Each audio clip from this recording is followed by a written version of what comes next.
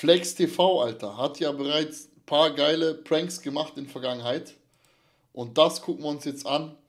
Was waren die peinlichsten Anmachsprüche im Gym? Dreiste Umfrage am Fitix Berlin. Ich bin sehr, sehr gespannt, Freunde. Let's go. Fast alle Gym-Leute sind geil, finde ich. Okay. Ja, Also du stehst auch auf Männer, die Muskulatur äh, haben und ja, einfach. natürlich. Ja. Was geht ab? Natürlich. Meine Flexer, willkommen diesen neuen.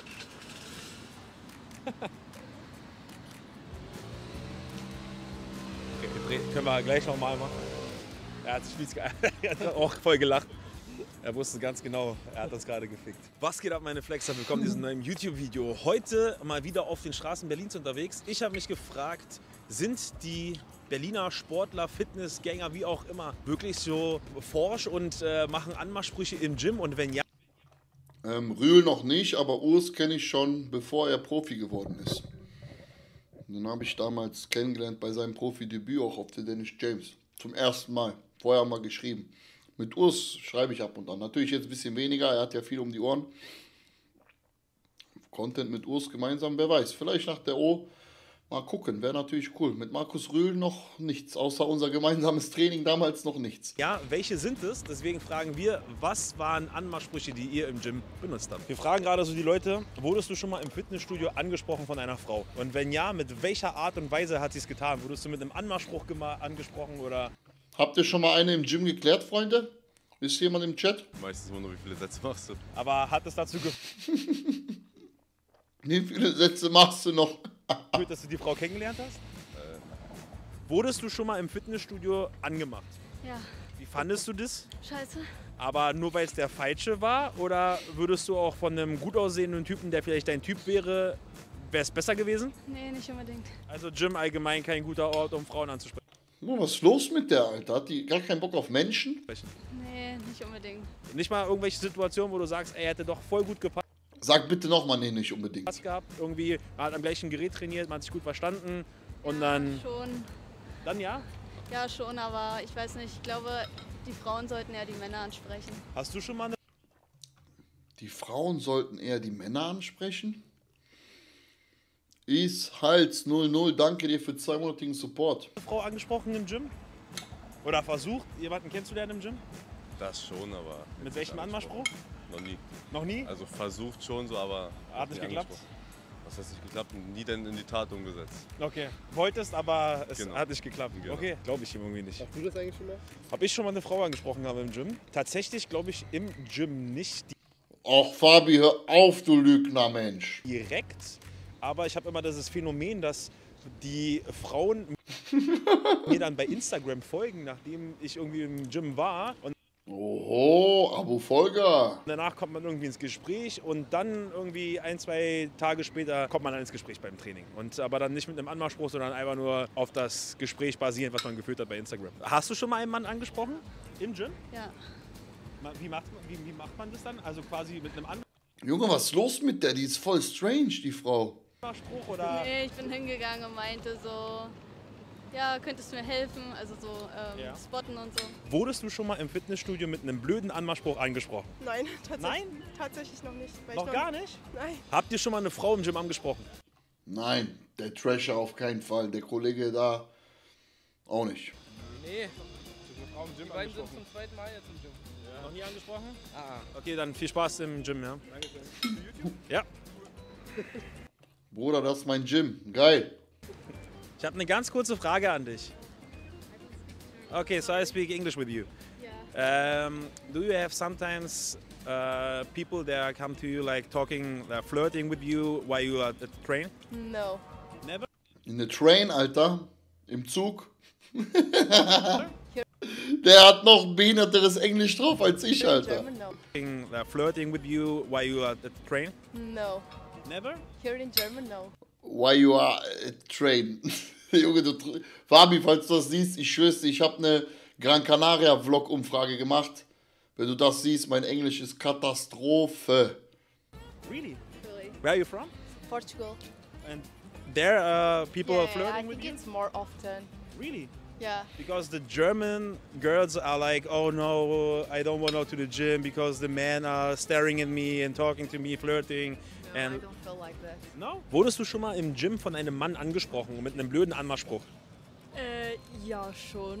Aber ja, der letzte Mal, wenn ich war da, dann.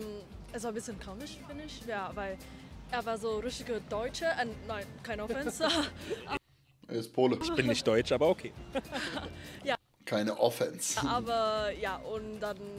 Er war richtig so unhöflich und so. Wieso unhöflich? Ja, weil ich war mit meinem Deadlift und dann. Ich habe noch nie so eine Aussprache gehört wie bei ihr. Ganz, ganz komisch, Digga. Ja, und dann höflich und so. Wieso unhöflich? Ja, weil ich war mit meinem Deadlift Sie war mit ihrem Deadlift? und dann. Ja, und dann ich habe Deadlift. Ich habe Deadlift verstanden. so 90 oder 90 Kilogramm oder sowas gemacht. Echt so stark? Ja. Nicht schlecht. Ja, und dann er hat einfach Onkel Mirek, grüß dich, mein Lieber. Guten Morgen. äh, hinter mir ge gesagt, dass "Jo, du bist so schwach. Guck mal, guck mal, guck mal, ich kann besser, ich kann so 100. Okay, das ist. Das ist Also so würde ich eine Frau niemals anbaggern. Ja. Der sagen, dass sie schwach ist und dann zeigen, dass ich mehr Power habe. Das ist, nein, das macht man nicht. das war ein bisschen komisch, ja? Das ist cringe. Und er wollte dich aber eigentlich kennenlernen und äh, hatte. Also so. Ja, und dann er hat er hat gefragt, äh, kann ich äh, deine Nummer haben, weil du siehst ein bisschen schwach, aber ich kann dir ein bisschen lernen und so. Ich kann ihr ein bisschen Testo verkaufen. Ich habe eine Frage nur. Kurze Story bei mir. Als ich im Fitix trainiert habe, hatten wir eine, eine Dame im Gym.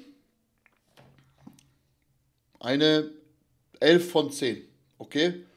Wirklich eine 11 von 10. Ein Körper wie gemalt. Gesicht hübsch. Haare hübsch. Trainiert brutal. Okay? Nein, nein, nein. Nein. Keine Wiebke, Mann. War im Fitix. So, eine 11 von 10. Sie war wirklich wunderschön. Nein, brünett aus Griechenland. Okay? Arsch, Körper, alles top. So, ich habe sie niemals angebaggert, niemals angemacht. Onkel Mirek, du weißt genau, von wem ich rede. Das ist schon ein paar Jahre her. Aber, Freunde, jetzt kommt das Komische. Egal wo ich war, ich habe Mädels im Gym nie angemacht. Finde ich, ist einfach ein blöder Ort. Ich bin da, um zu trainieren. Entschuldigung. So.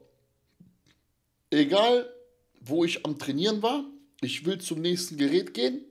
Sie war zufällig auch dort. So. Aber sie war nicht dort, weil sie da hingehen wollte, wo ich. Sie ist ja als, sie hat als erstes das Gerät gewechselt und ich musste dann wieder in ihre Nähe kommen. Und irgendwann, die hat mir Blicke zugeworfen, die hat sich so abgefuckt, die dachte, ich verfolge die. Obwohl das gar nicht meine Absicht war.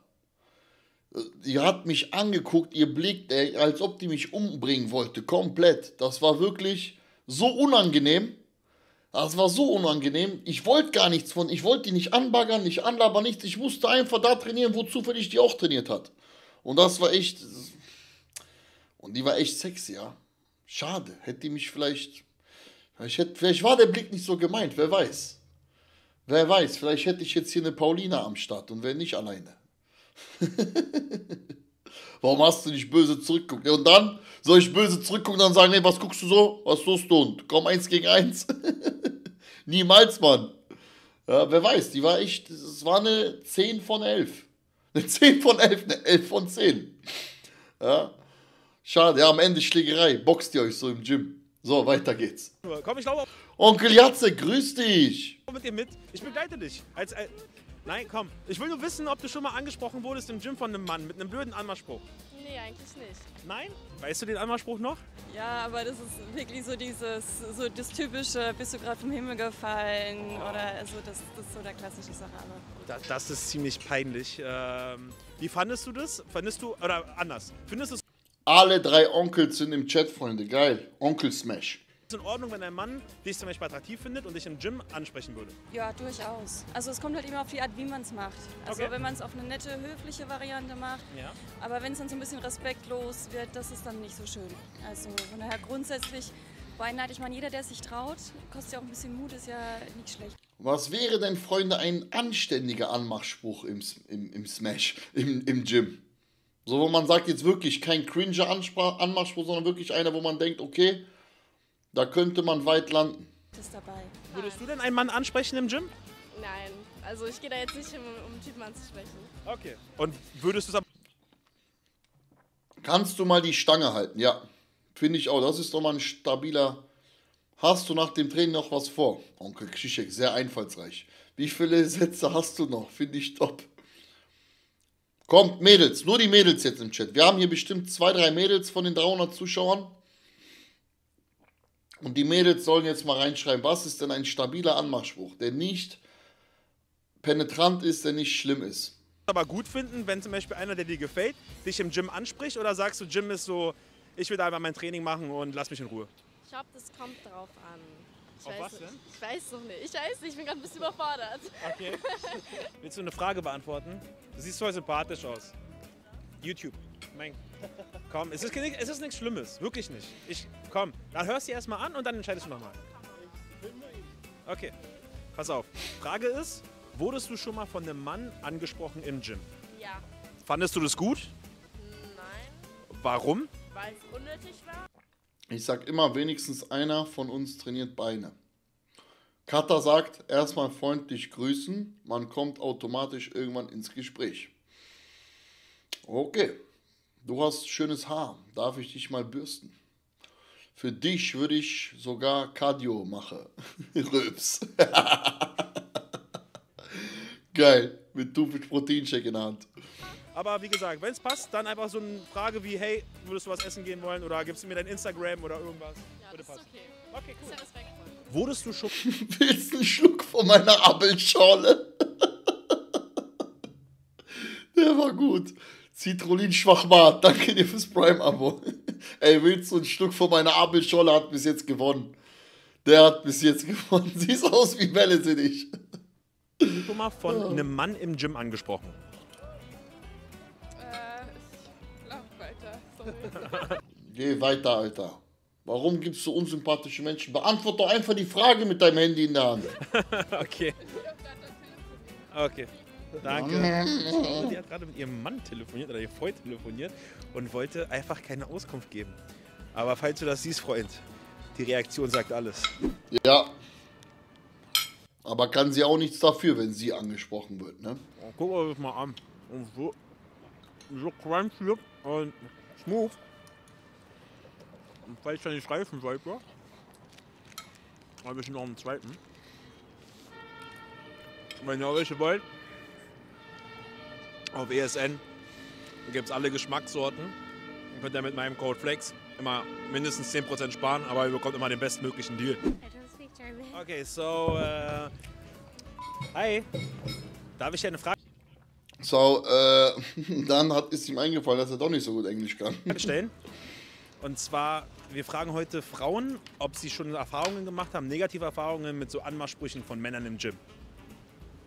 Ich tatsächlich noch nicht. Also so ein ganz normales so, hey, du gefällst mir, hättest du Lust, später mal einen Kaffee trinken Nur einfach, das, kann, das Video geht seit sieben Minuten und fast gar keiner wurde angesprochen vernünftig im Gym. zu gehen oder irgendwas wäre in Ja, Ordnung. ja. Aber sowas wie, hey, bist du vom Himmel gefallen oder irgendwas ist so absolut... Sowas geht gar nicht. Okay. Um, I got a question for you. Um, do you got sometimes like men are staring at you or wanna flirt with you while you're at the at the gym? Yeah, quite often. It's quite irritating because I Okay. go with the main purpose to work out, but the people go are going there with different purposes. Also wie viele Frauen auch, will sie ihre Ruhe haben im Training. Ey, wisst ihr, was ein kranker Prank wäre? Mit versteckter Kamera im Gym wirklich die Weiber anbaggern. Das würde Bock machen, Alter. Ich hätte voll Bock da drauf. Straight zu einer hingehen mit versteckter Kamera und einfach wild drauf los smashen. Abschleppen. Ihr wisst, smashen heißt auch unter anderem abschleppen, ne? Nicht flachlegen, auch mal abschleppen. Einfach hingehen und einfach komische, behinderte Sprüche raushauen. Vielleicht würde eine ja zusagen. Das wäre doch mal lustig. Ich sag immer, hey, du hast ein echt schönes Gesicht für dein Gewicht. Irgendwie stehen die Weiber nicht drauf. Ja, Bruder, das, das glaube ich dir. Bagger die Wiebkan. Freunde, ich stehe nicht auf Bikini-Athletinnen. Immer noch. Das ist mir zu dürr. Schwieriges Thema, weil ich weiß auch von Frauen, dass sie immer sagen, oh, Männer trauen sich nicht, Männer sprechen uns nicht an. Dann trauen sich mal Männer und dann ist es so, oh, ich will hier nur mein Training machen. Ja, okay, wo sollen wir dich sonst ansprechen? Wo? Würdest du aber grundsätzlich sagen, dass du Interesse hättest, auch einen Mann, der dich im Gym anspricht, kennenzulernen? Oder sagst du so Gym, ah, lieber nicht? Ja, doch. Nein, nicht aufs äh, Heavyweight, aber bitte nicht auf Skinny. Das ist ein Unterschied. Einfach auf normale Frauen. Guck mal bitte, wie geil sie doch sagt. Ja, doch. Einfach goofy. Interesse hättest, auch einen Mann, der dich im Gym anspricht, kennenzulernen? Oder sagst du so Gym, ah, lieber nicht? Ja, doch. Also. Ja, doch. Ja. Hättest auch einen Mann, der dich im Gym anspricht, kennenzulernen? Oder sagst du so Gym, ah, lieber nicht? Ja, doch. Also alle Gym. so geil. Leute, fast alle Gym-Leute sind geil, finde ich. Okay. Ja. Also. Ey, nichts gegen sie. Sie ist süß, Mann. Sie ist sehr süß. Sie redet nur sehr lustig, Mann. Du stehst. Ey, Onkel Mirek, ich habe gerade eine geile Story aus dem Gym erzählt, wo wir früher in Fittix Langerfeld trainiert haben. Da war eine hübsche 11 von 10. Ja.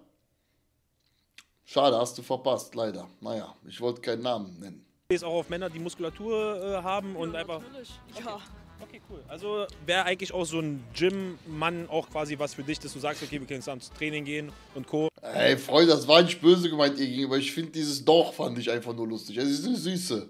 Sie ist eine Süße, ein süßes Mädel. Ja, finde ich auch, ja. Okay, cool. Ich kann so nach einem, ihren, ein, so ein random Person und Ja. dann fragen einfach, äh, bist du mit Bruder, wir hatten einen Spitznamen für sie, Onkel Mirek. Boah, wie haben wir die genannt, Alter? Irgendwas mit Göttin. Nee, nee, nee, nicht Puerto Rico. Das ist andere. Boah, Puerto Rico war auch wild. Puerto Rico war wild. Andere. Wir nennen hier keine Namen. Wir halten uns bedeckt, Onkel Mirek. Wir halten uns bedeckt. Nicht Puerto Rico. Die andere. Irgendwas mit Göttin, du weißt. Ich glaube, sie war Griechin. Ah? Weißt du noch, Brudi? Du weißt ganz genau, Fittix Langerfeld Zeiten. Oh. mit mir so ein bisschen Benchpress, äh, ein bisschen äh, Bankdrücken machen oder.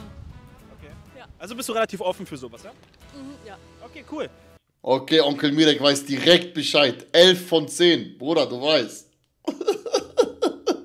Dann äh, viel Spaß beim Training. Sch schönes Wochenende, Schreib mal bitte bei WhatsApp, ob du weißt, wen ich meine. Bitte schreib bei WhatsApp, bitte. ja? Ciao.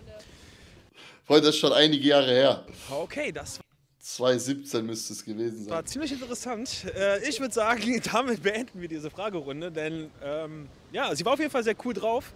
Äh, war ein flippiges Mädchen. Ich äh, würde sagen, wenn euch das Video gefallen hat, dann äh, drückt auf Abonnieren, drückt auf Liken, äh, schreibt einen Kommentar, was wir als nächstes mal fragen sollten. Und ansonsten, ihr wisst Bescheid, Instagram und Co. könnt ihr mich auch gerne mal verfolgen, denn äh, da werdet ihr dann auf jeden Fall mehr Privates von mir sehen. Und ich würde sagen, wir sehen uns beim nächsten Mal wieder. Ciao. Fast alle. Ja, geile Idee, aber irgendwie waren die Damen nicht so gesprächig hier, beziehungsweise wurden irgendwie nie angebaggert. Es kam keine geile Story zustande, leider, ne? Vielen, vielen Dank fürs Zuschauen, Freunde, und ich hoffe, ihr hattet Spaß mit diesem Video. Lasst auf jeden Fall ein Abo da bei dem Kanal, kommentiert wie immer fleißig und falls ihr mich supporten wollt, findet ihr wie immer die besten Supplements auf powerstage-germany.de. Mit meinem Rabattcode sichert ihr euch den besten Rabatt. Damit supportet ihr mich ordentlich und sichert euch feine Subs. Dankeschön, bis zum nächsten Mal. Adios.